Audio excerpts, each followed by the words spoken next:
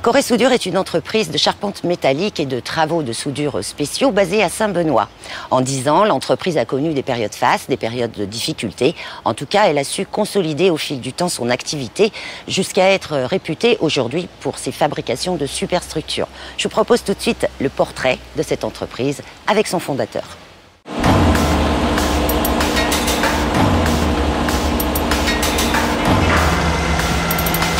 Attention, objet volant, massif et non identifié dans le ciel de Saint-Benoît. En ce lundi matin, le site de l'entreprise Corée Soudure est en ébullition. Cette énorme pièce métallique de plusieurs tonnes vient d'être terminée et doit être acheminée vers une centrale électrique. Une manœuvre délicate et un moment pas comme les autres. Bah là, en ce moment, on est en train de charger une pièce, euh, une partie de gaine de désenfumage pour Albioma Bois Rouge.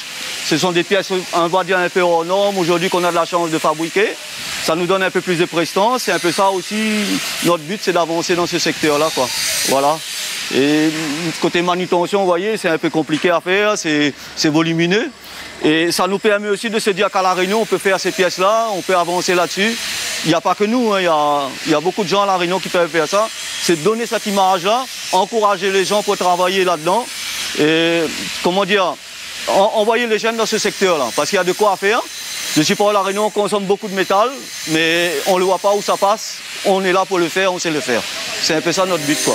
Si une certaine fierté est visible dans le regard d'André Corré, c'est parce que la livraison de telles pièces est déjà un aboutissement.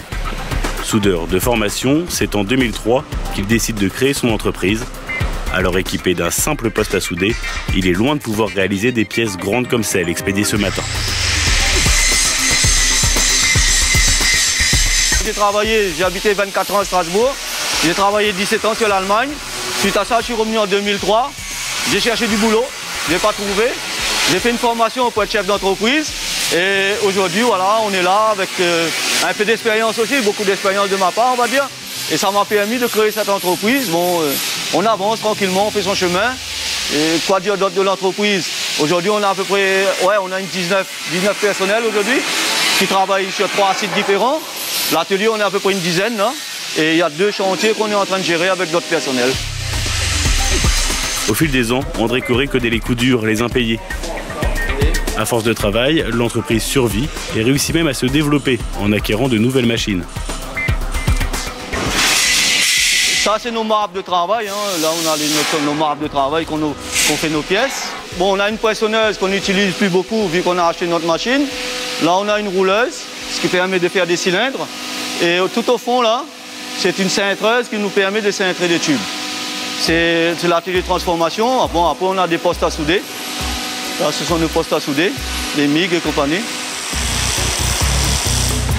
Des outils indispensables mais qui ne font pas tout. Corée Soudure fabrique des pièces pour l'industrie, mais aussi tout ce qui est à base de métal, de l'escalier d'habitation ou en entier. Et ici, les premières clés de la réussite sont la polyvalence et l'envie des salariés. Chef d'atelier, Pascal a été recruté il y a trois ans et il est bien difficile de résumer ses savoir-faire. On refait des petits pointés là, là, là. Ici, souligne fait moyen un petit peu, on voit pas. Je fais un peu de montage, j'a- j'assiste le personnel au montage, à la fabrication, à tout en fin de. Je fais un peu tout, je, suis- cintre, je roule, je plie, euh, je fais les dessins d'atoll. C'est jamais, jamais les mêmes que moi. Le procédé change, il faut tout le temps réfléchir au montage, à la fabrication. C'est jamais pareil quoi. Couper, souder, percer le métal, les missions sont difficiles et les techniques évoluent en permanence. Au XXIe siècle, un soudeur doit maîtriser la souris d'ordinateur aussi bien que le fer à souder, mais c'est pour la bonne cause. Cette machine high-tech peut faire en une journée ce que trois professionnels font en une semaine. Là, ça fait environ deux ans qu'on a cette machine. Et donc, euh, on a appris quelque chose, en fin de compte. On apprend encore aujourd'hui. Donc, euh, voilà. Et puis, euh, cette machine, on peut faire pas mal de choses avec aussi. La découpe, des dessins, plein de choses. L'oiseau ne fait pas son nid en une journée, on dira, moi j'ai commencé avec un poste à souder. Et voilà, au fur et à mesure, on achète nos machines qu'on a besoin. Et il ne faut pas trop, comment dire, il faut pas trop s'endetter, il faut aller petit à petit et voilà quoi. C'est un peu ça le, le but. J'essaye, hein. Investir intelligemment dans les machines comme dans les hommes, aimer son travail et ne jamais abandonner face à un obstacle. Les lignes directrices sont claires et ressemblent trait pour trait à celui qui les édicte. L'école, c'est vrai, elle est là pour former.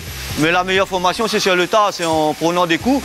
Mais il ne faut pas trop en prendre aussi, parce que sinon, à un certain moment, on va être KO. Mais en restant un peu la tête sur les épaules, en prenant quelques coups, euh, on dit voilà, aujourd'hui j'ai fait faux, demain il faut que j'essaye de. C'est toujours s'améliorer en fin de compte.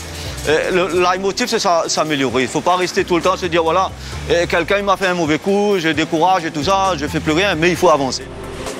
16 ans après sa création, l'entreprise Corée Soudure se porte bien. Son chiffre d'affaires est stable et les 10 employés à temps plein auront bientôt de nouveaux collègues car l'entreprise embauche. Une preuve de bonne santé supplémentaire pour une société et un secteur qui ne sont pas prêts de voir s'éteindre la flamme.